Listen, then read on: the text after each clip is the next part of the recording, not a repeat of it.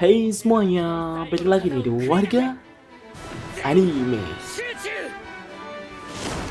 Dan pada kesempatan kali ini, Mimin akan membahas kutukan Demon Slayer Mark pada anime Kimetsu no Zaiba.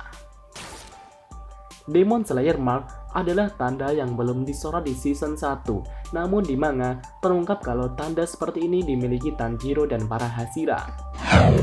Pada dasarnya, bila tanda ini aktif, seorang pembantai iblis akan menjadi lebih kuat, lebih cepat, dan memiliki reaksi yang lebih kilat. Mereka jadi bisa membantai iblis dengan lebih efektif. Namun, Demon Slayer Mark juga memiliki kutukan tersendiri. Jadi, tanpa basa-basi lagi, mari kita mulai.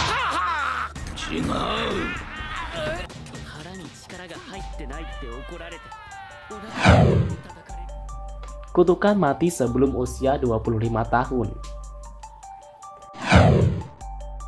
Demon Slayer Mark mungkin bisa memperkuat seseorang.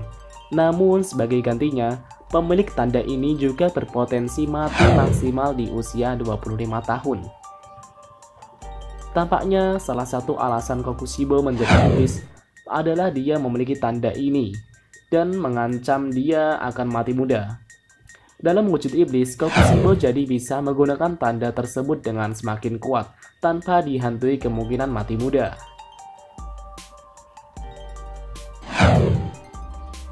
Pria yang mengatasi kutukan tersebut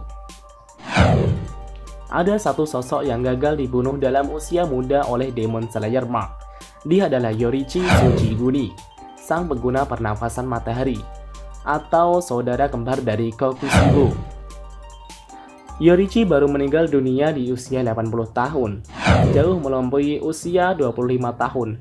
Hal berbeda yang dimiliki oleh Yorichi dan tampaknya tidak dimiliki oleh kebanyakan pembasmi iblis lainnya. Yorichi mampu menguasai dunia transparan dan dia juga menguasai teknik pernafasan matahari. Teknik ini bahkan tampaknya dilupakan banyak orang ratusan tahun setelah kematian Yorichi. Apakah Tanjiro aman? Ya, Tanjiro Kamado kini juga memiliki Demon Slayer Mark di manga. Kalau dia selamat dari pertempuran melawan Muzan, Tanjiro seharusnya memiliki 10 tahun masa hidup. Tapi, apakah dia sebenarnya berpotensi aman dari kutukan tersebut? Hmm, entahlah.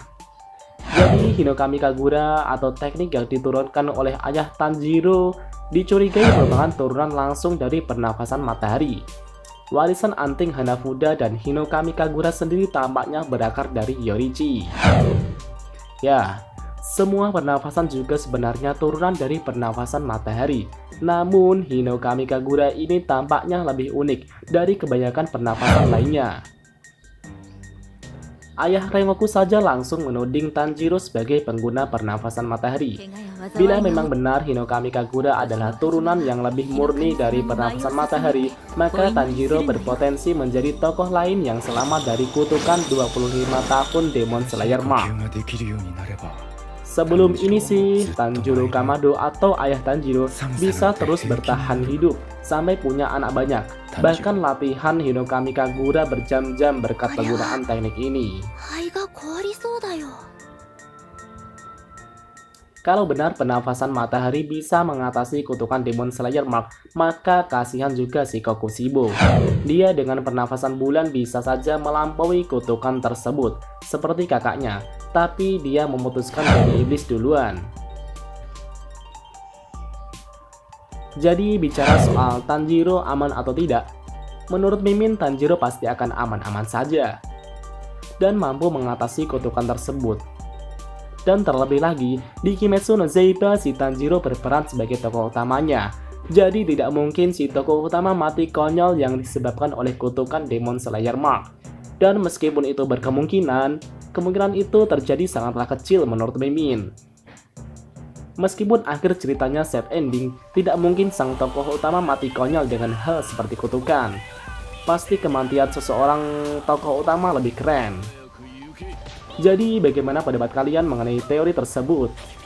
Apakah Tanjiro akan lolos dengan penguasaan teknik pernafasan matahari ataukah dengan kemampuan yang mampu melihat dunia transparan yang telah ia kuasai saat melawan Akaza? Atau jika kalian memiliki penjelasan lainnya, Silahkan tulis saja di kolom komentar dan mari kita diskusikan. Dan terima kasih sudah menonton video ini dan jangan lupa klik like dan subscribe juga ya guys. Tentunya di Warga アニメ。で勝負は決まった。Thank you この日この瞬間初めて。